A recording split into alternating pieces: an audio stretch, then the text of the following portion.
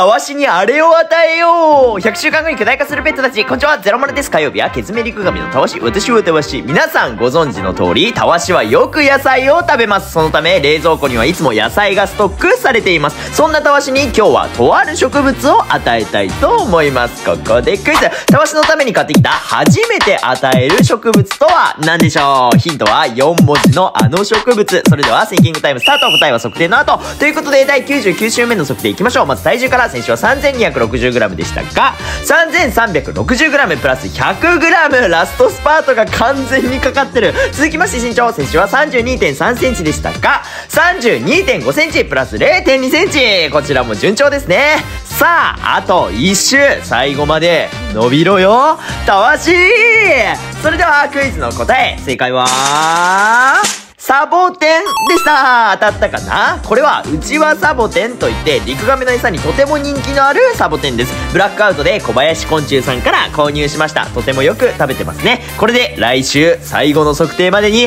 大きくなれよ